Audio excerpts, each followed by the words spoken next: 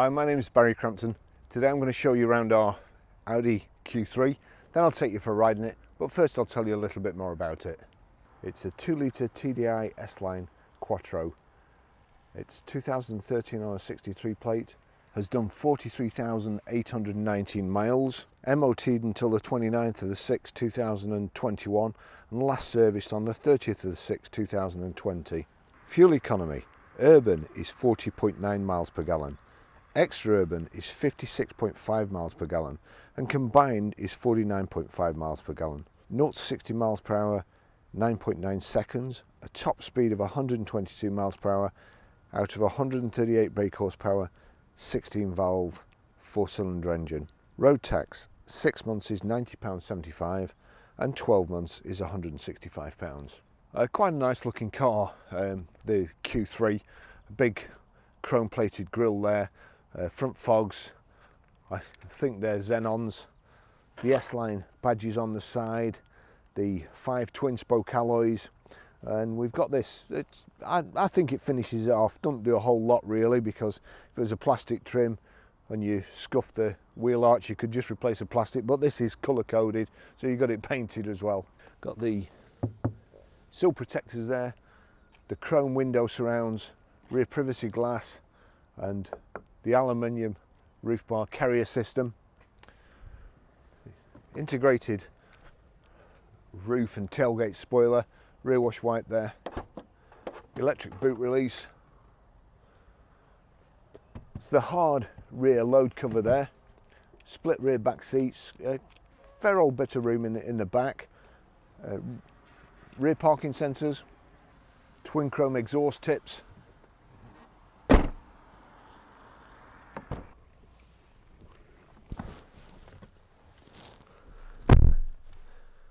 nice high seat backs it's uh, partial leather or half leather and cloth interior, uh, cloth centre panels there.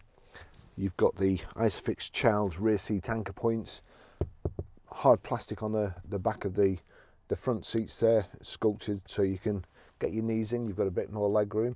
Um, lovely car. It's um, it's quite plain, uh, but having said that, it's how I like them to be honest. Uh, you've got the the brushed aluminium insets in the door cards, the uh, gear tunnel and the dashboard. And it's, it's just typical German, functional, nice, clean, uh, lovely car. Nice and clean in the back, it's great. Okay, I'll just take you for a ride in it.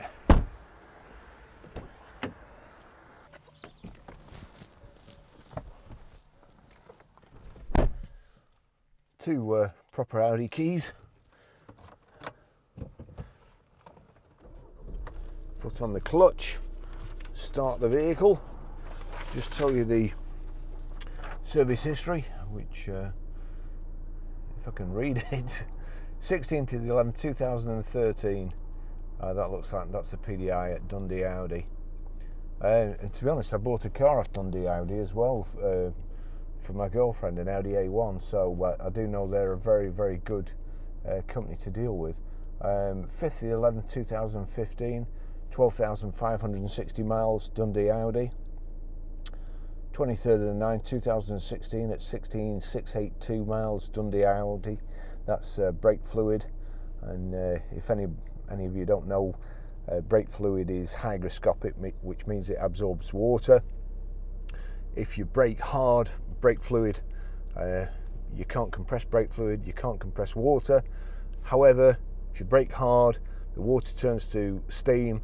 Steam's a gas and can be compressed, so you, you lose your braking, and that's why it's important to have your, your brake fluid uh, changed. Um, it's supposed to be done every year, I think. 22nd of the 12th, 2016, at 18,321 miles, Dundee Audi. 3rd 11th 2017 at 23843 miles Dundee Audi and then 30th of the 6th 2020 41,726 miles Holmes Motor Engineers. And it's now done 43,825 so uh, I quite as I said before I, I, like I like gadgets but I like cars to be uh, functional plain and where you don't have to take your eyes off the road for uh, for a second. Um, here we go. We've got height and reach adjustable multifunction steering wheel. Um, the automatic handbrake, which as long as you've got your seatbelt on, will pull off. If you've not got your seatbelt on, it won't let you go unless you knock it off by uh, hand. So, quite a good feature. Although, when you're in a hurry and sometimes you're trying to drive off and put your seatbelt on, like some people do, then uh, it won't let you go and it can be a bit annoying. so it's, it's a really, really functional layout, a nice clean layout. Um, everything's everything's to hand, nothing you don't need, no stupid gadgets. Um, I, in fact, if it had a handbrake, a proper handbrake, it, it, it'd possibly be my ideal car. Higher up off the road, nice seating position. You feel nice and safe in it. Very sure footed on the road.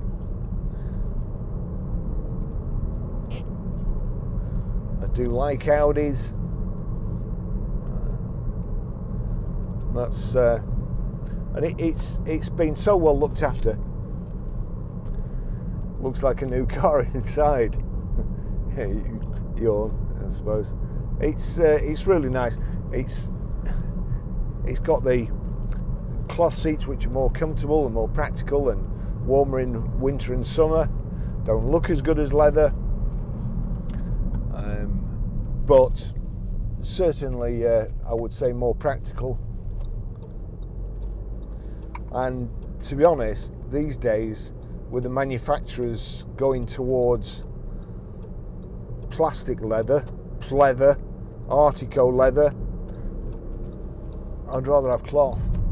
Um, although it's supposedly, well, it is easier to clean than normal leather, and plus the colour doesn't come off, like because you can only use water-based products these days in cars.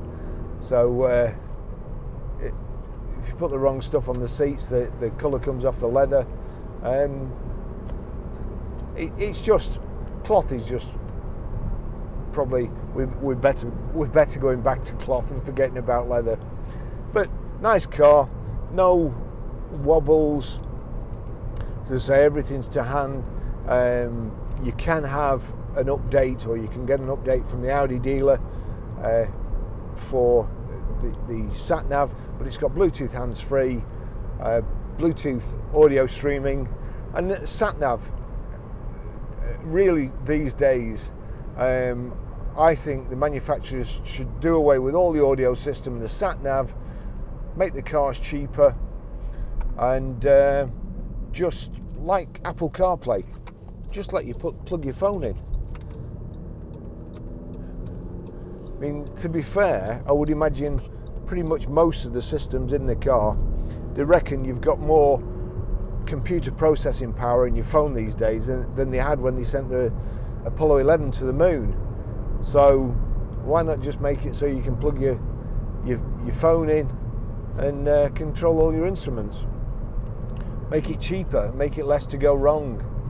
Uh, make it like one of these, well, one of the sat nav units in some of the other cars. They're about two and a half grand, and you've got all the stuff in your phone. Just a thought.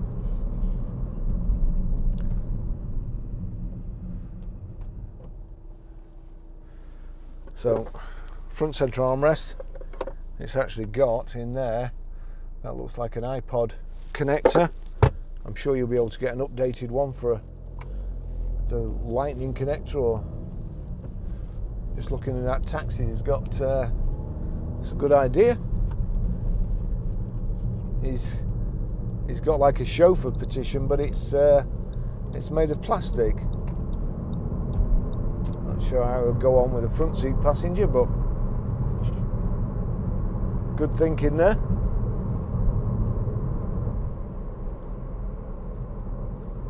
Let's see what we got.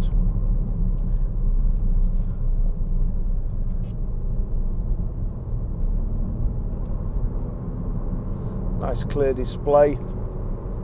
Rev counter on the left. In the bottom of the what a very strange manoeuvre.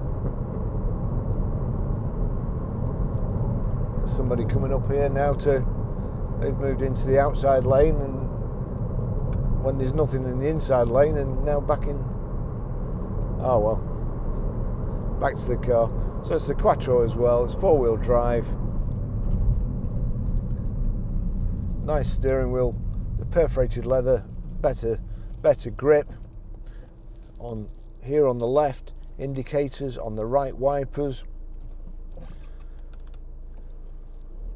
You can control your information display which is in the center there showing my phone directory and uh, time and so on. On the right hand side you've got your speedo and in the speedo there's your fuel gauge. So th this this car is unbelievably clean and uh, it, it, actually smells a bit like um, it's probably Lance's um, sterilizing um, products, but it smells a bit like when you were at school and you used to use that like amber sort of soap, and the whole school smelt of it. uh, but it, anyway, at least it's clean. It doesn't smell of smoke or dogs. nice aluminium panel around the gear stick. It's six speed gearbox. Nice, smooth gear change and light clutch. Good pickup of speed. You just see there, I was, messing about before uh, with the, the music settings and uh, Audi have a uh, setting for the speakers, which I think it's called Gala, which is really good, and I, I put that on so the, the, the sound's great, and uh, which is quite funny because whoever had it before had the bass turned all the way up, and I would have thought they'd have had Gala on as well. But that's that's the tone there. See Gala there active, and then fader, balance, and so on. In each of the corners, there's a kind of an instruction which corresponds to these four buttons. So that's telephone, which you can uh, change your settings on. System over in the other, in the left-hand corner. There you go.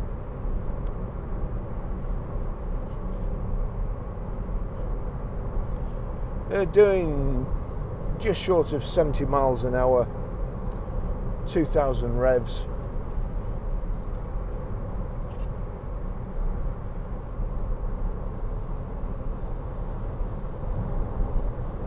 Just check the door mirrors, electric door mirrors. Yep, left one's working, right one's too. It's a it's a nice, honest car.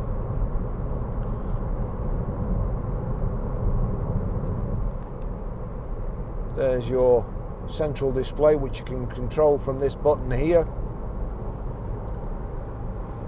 move up and down with that button and then through the menus using the arrows there. On the right hand side is voice activation. Not sure. All right. So that's uh, radio and volume control there.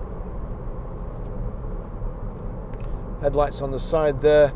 You've got your electric window switches there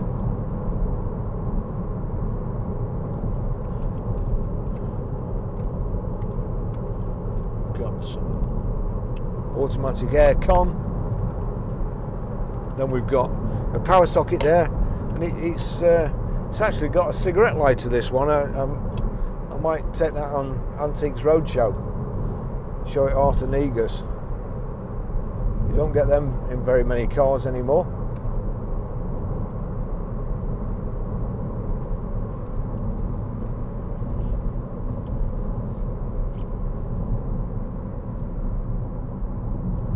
Steering's really nice.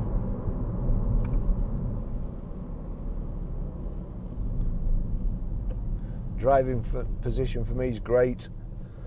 Uh, just right, and I, I can drive with my elbow on the armrest and virtually uh, well yeah I can with my I can I can change gear without taking my arm off the armrest lazy man's driving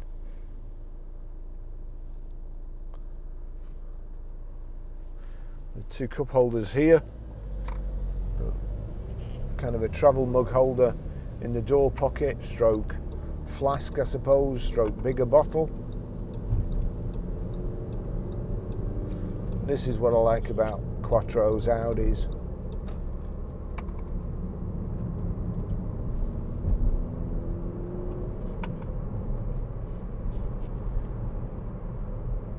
You never feel like you're going to fishtail going around a roundabout or a sharp bend.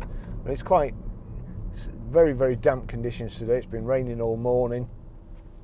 This roundabout gets a lot of stick as well, as you can see lorries going into Preston that way and Blackburn that way and up and down the motorway or joining.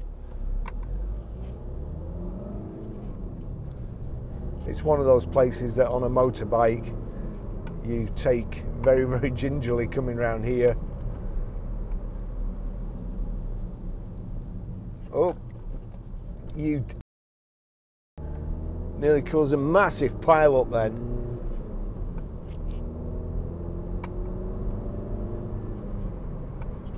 I thought the guy in the van behind was going to uh, rear end me.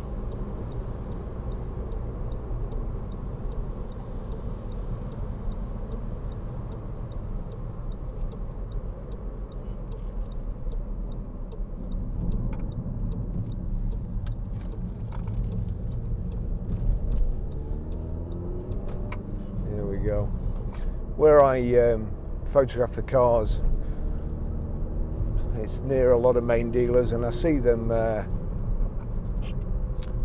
testing the cars. And to be honest, I despair watching them. I really do. Um, the, the, speed they drive, the mechanics are driving up and down the road. Uh, especially, I've seen them do it in some older cars as well. And I saw a chap before. I mean, I come up here, and, and basically, if there's any knocks on the steering, you can hear them. You can hear the knocks by loading the front wheels normally, and then taking the load off, turning the other way. So kind of a a reasonably sharp motion, but then the other way. And the guy was going up the road doing that. Now, unless he was listening for a marble or something, um, I don't know. But also, on his own, when you're listening for a, a noise like that, ideally there should be two people one to drive and concentrate on driving, and the other one to listen for the noise. Um, this, when, when I was a kind of an apprentice, this was our test track. I, I, worked at an Opel dealer down the road here. This road was our test track, and uh, I remember we had a customer called Mr. Brewer, who was a lovely chap. He used to get a new car every year. The first thing he did was take it home and, and clean it, even after we'd cleaned it. And it was it was always it was absolutely fantastic. Used to get the the rocker cover box uh, chromed, absolute all pipes polished underneath. Everything was beautiful. And he, he had this. He came back and he bought an Opel Manta, and, and he had this noise on the on the Opel Manta, and it was coming from the back at a certain miles per hour. And the mechanics went out in it, couldn't find anything. We sat in the back seat and, and so on. And then, of course, it came down to me. Bearing in mind, I was I was only young. I had to I had to go in the boot and listen for this noise in the boot while the mechanic drove up here. And I'm not sure whether any of you have been kidnapped before, but it's not very pleasant being in a boot in a car and it certainly wasn't pleasant in those days because it was mostly all metal. But anyway, we tracked it down. It, it was the, the, the springs juddering at the back and touching, but uh, yeah, test tracks. and noises on cars. Don't get me started. So when we get back to the garage, I'll, I'll show you how to pair a mobile, how to delete a mobile, how to stream audio. And uh, I, I, can tell you it's a lovely car. There's, there's nothing, I can't pick up on anything. Let me just try the wipers. Yep, no noises from the wipers. Well, that. Uh, oh, and when, when I say no noises from the wipers, what I really meant was no noises from the front wipers. But there's no water on the back screen, so let's just see. Let's just see if that goes off with a bit of water. No, it's awful. if you're coming to buy this car, remind us that that's we need to put a new wiper on the back.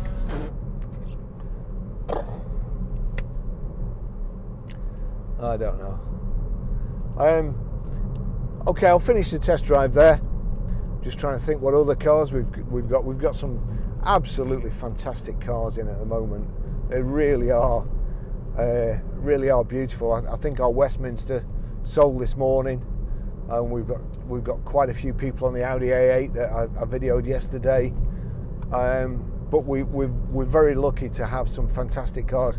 Also, we were listening to, well, we started to listen to a, a podcast by Auto Trader this morning, and it was so negative that I switched it off.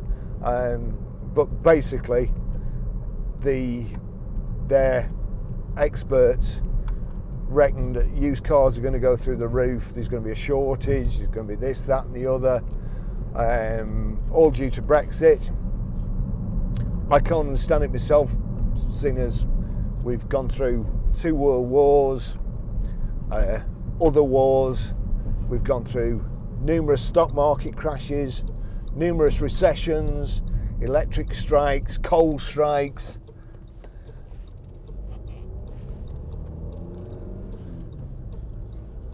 Um, the millennium bug, we've gone through all that. We've come out the, the other side massive VAT increases. Uh, the, there used to be a, another car tax which was knocked off. You know, all, all those things, and the UK motor industry has survived, and the UK itself survived. And because we're leaving a, a club, everything's going to collapse. I, I, I don't see it. However, just to be on the safe side, I, think the message was buy your car now.